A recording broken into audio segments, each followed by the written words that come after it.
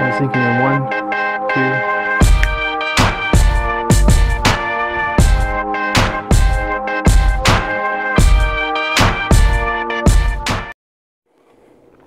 So today was supposed to be just kind of a relaxed day and work on homework and some listing photos. Uh, then we ran into this little problem here. See all that? Where's that coming from? Not a refrigerator, but up there. It's all wet and brittle.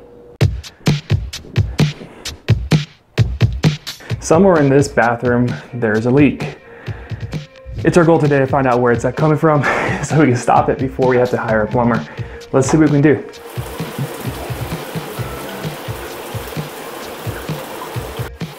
So one of the first things I checked was the, uh, the toilet. I flushed a couple times to see if I saw any water coming out from the wax ring. And it seems pretty secure, so I turn on the shower, and this is one of the things I found. See a little gap there? Oh yeah. That gap right there is a water trap, and it is collecting all the water. Let's see what's happening on the backside. This access panel was cut out by another plumber somewhere and uh, did some great duct tape work to fix the whole leak that was originally there. That's not what's leaking now though. If you see that drip right there, and there's another drip right down there. And that is right above the kitchen where we saw earlier with that leak. You can see all that water dripping down right now. I know this is like terrifying for some people to see, but I guarantee you we will fix this. Today's kind of like the, uh, the day of the leaky, leaky thing. So I'm gonna be fixing this shower here. I'm gonna show you how I do it. And also there's a couple leaks out by my chicken waterer and I want to uh, fix those leaks too because we're losing some water off our water reserves. Before I head out to the hardware store, I wanted to show you this, uh, this new listing I put up. And the power of Facebook is crazy. Um, I put this up yesterday afternoon. I think it was finally approved by Facebook. 2,400 people reached, 76 reactions, and it breaks it down to exactly where it came from, even the post clicks. Uh, we're at a total, yeah, to almost 2,400. Now, obviously, this is a paid ad as well, but look at the organic versus paid, and that's just groundwork. I've been sharing it, I've been uh, commenting, I've been very active on this post, so this thing hopefully will be sold soon.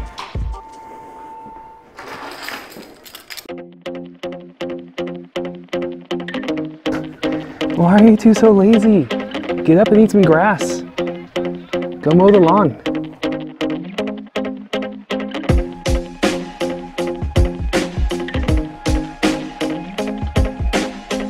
It's hot today, isn't it? Hey, Monty, say hi to everybody. trying to eat the cable? What are you doing? Yeah, as a realtor, I get faced with people saying that they don't want to get into home ownership because they think that it's uh, too much responsibility or too much time. Honestly, I love it because it's uh, it's forcing me to get out and enjoy this beautiful day, whereas normally I'd be sitting behind a computer working on some listings.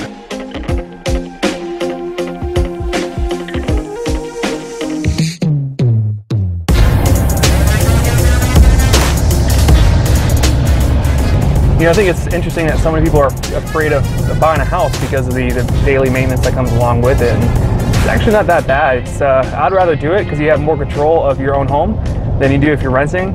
And honestly, anything that does go wrong, you could pretty much find it on YouTube how to fix. It's uh, pretty simple now. Just look it up, or just some keywords of what you're uh, what's going wrong, and uh, I guarantee you'll find a how-to video out there of how to fix it. That right there, that's my favorite taco shop. That little yellow building we just passed. And of course, before any project ever happens on the Caraccio homestead, there's one stop I have to make. This is how you know you have an addiction. I have three cup holders here. Coffee, Emergency Rockstar, soon to be Starbucks, Java Chip, Frappuccino.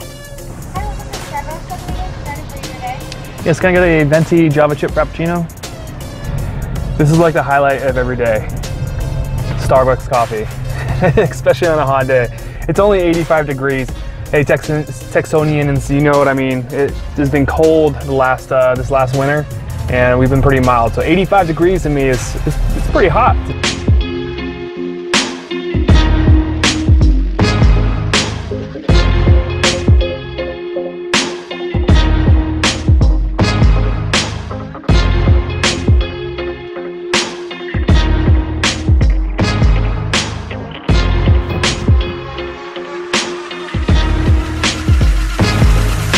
All right, so we got a total of four items today.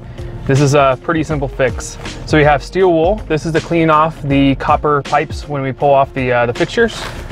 Some silicone. Now, mind you, I didn't get the one that's in the gun, uh, the silicone gun or the, the caulking gun. This is just out of the tube. This one is uh, mold-free, water-resistant, made for bathrooms and kitchens. The other two items I got was uh, pipe tape, and I got two different types.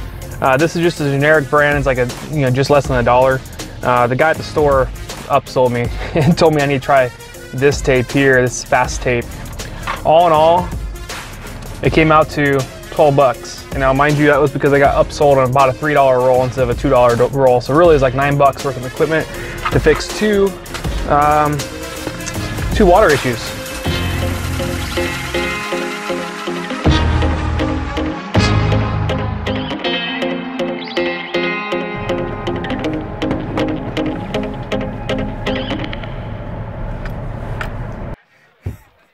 At these fools. they won't let me out. All right, here we go. So the first step, we're gonna do the chicken water real quick. It's just simple, how to use Teflon tape or pipe thread tape. Come say hi to the camera.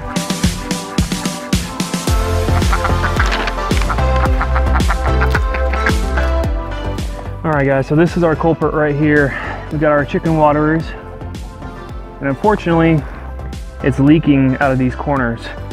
So I need to go through and put the Teflon tape in there to kind of help seal it up. All right, so we have uh, two different types of Teflon tape. This is what the handyman or the, uh, the employee told me to use. He said he likes this a lot. This is what I've always been uh, used to for pipe thread. We're not really using it for pipe thread. We're just using it to block the water so it can't flow out of these holes.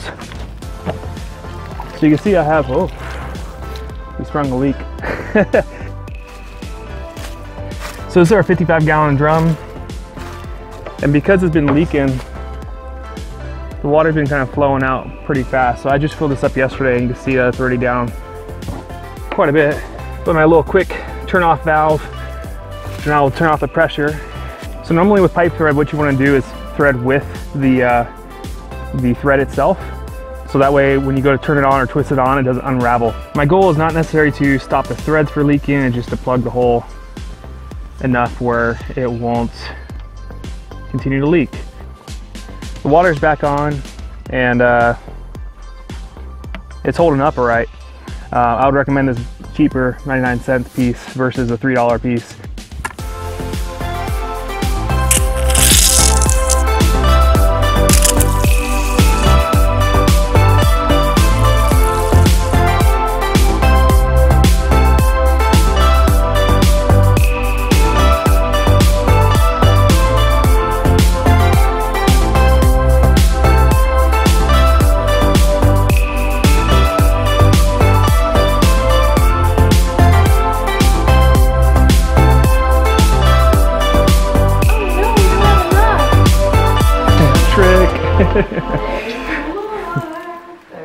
Looks amazing. All right, I'm gonna do my best to get everything in frame and get the close-ups all in one shot, so it's not that choppy. So what I have is my, my phone. I have it hooked up to my microphone right now, and uh, I'll get you the close-up shots when need be, so you can see what I'm doing. Otherwise, I'm gonna keep you guys out on the farther, farther angle. First thing you're gonna need is your 532 Allen wrench, and let me get close up here. See that right there? Boom, right there. That's what you need to get into.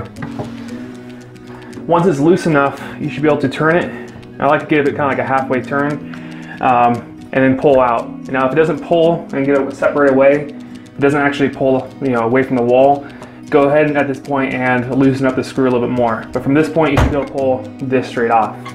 So that is our culprit. this is what's causing us this mess.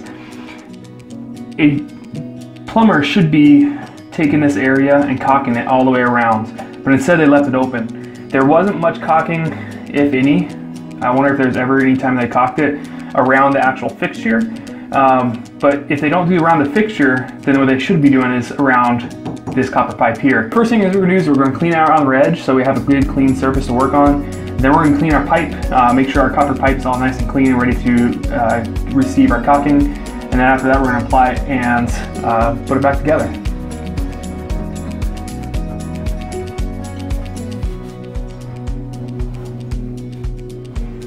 All right, now that it's clean, we're gonna move on to the next step, which is cleaning our copper pipe.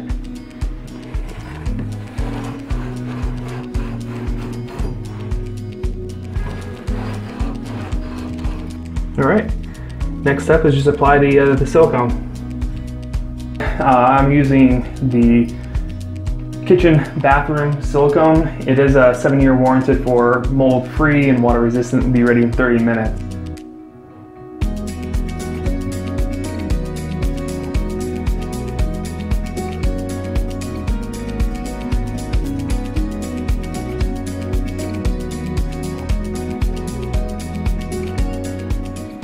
Alright guys, let's talk.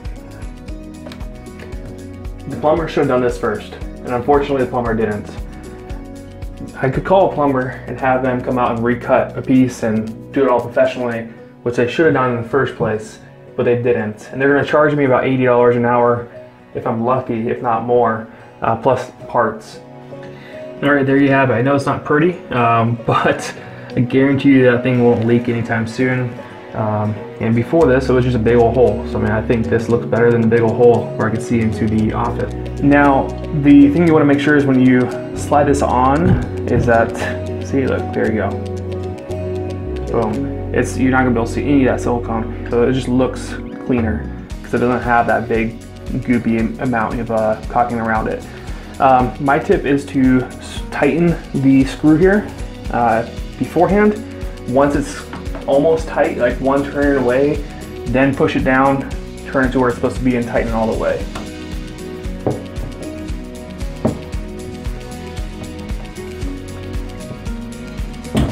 Okay, I got it almost all the way tight. So now I'm gonna twist it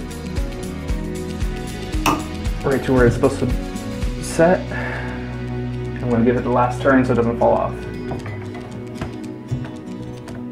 Okay, that's not moving.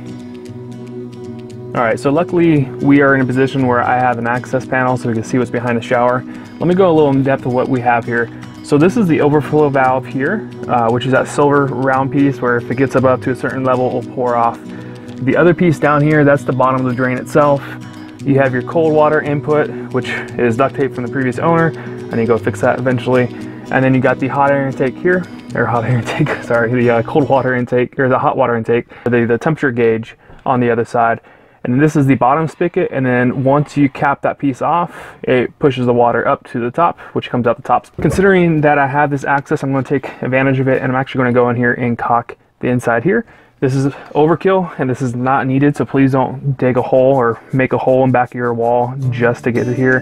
But because I have access to it, I'm gonna make sure that no more water comes out this backside, because it could have been a big issue in the middle of our kitchen if we hadn't caught it so early. Mind you, we, we saw that puddle pretty much right when the water started to come out of this hole. I want to thank everyone for watching. I hope you guys enjoyed this video. I'm going to be coming out with more of how to uh, fix ideas uh, as we go.